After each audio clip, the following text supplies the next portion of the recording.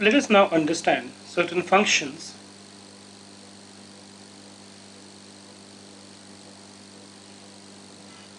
and how you draw their graphs. The first function is an identity function. Let's say you have a set R. Okay. Now the word identity itself signifies that this has something related to each other.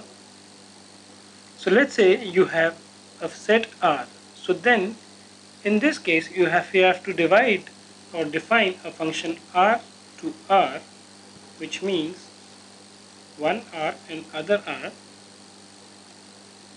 wherein y is equal to fx is equal to x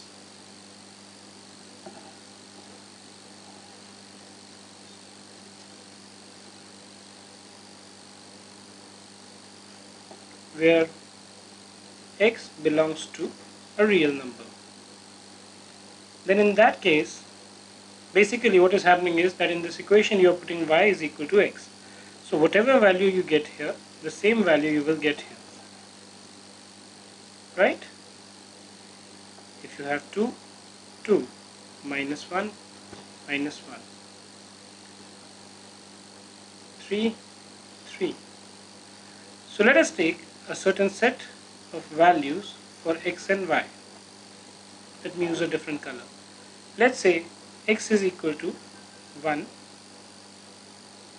then y is equal to function x is equal to x so y will also be equal to 1 Similarly, if x is 2, y is equal to 2. If x is 3, y is equal to 3. If x is minus 1, y is equal to 1. If x is minus 2, x is equal to minus 2. And so on. Now if you plot these points on the graph, let's call this as y-axis, x-axis, x complement, y complement. So you have x is equal to 1, y is equal to 1. So x is equal to 1 lies here, y is equal to 1 lies here. So this point should be somewhere over here, A.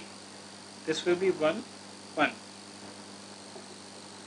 Then let's okay let's define these points as A, B, C, D, E. B 2, 2. So x is 2, y is 2. So you get B 2, 2.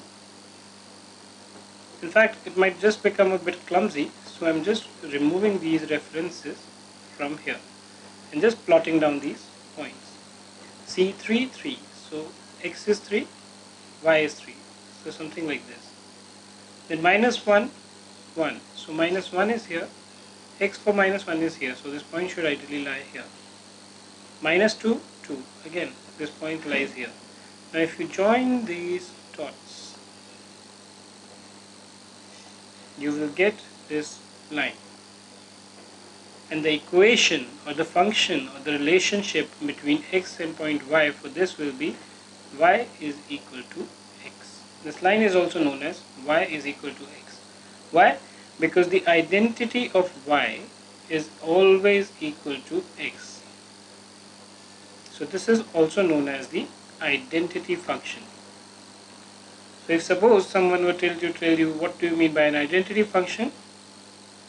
An identity function is a function wherein x belongs to real numbers and y is equal to x. The graph for this will be a straight line which will fall, pass through the origin or 0 as we call it and any point on this line will be such that the value of x will be equal to value of y. So let's say suppose you take it to this level, you want to find out this point, you basically draw a graph, draw a perpendicular on this side. So here you get x is equal to 13 and y is equal to 13. Because we haven't used the exact graphs, the situation might be a little different here. But in principle, whenever you plot any point on this line whether it be on this side this side the value of x is always going to be equal to the value of y and this function is basically called the identity function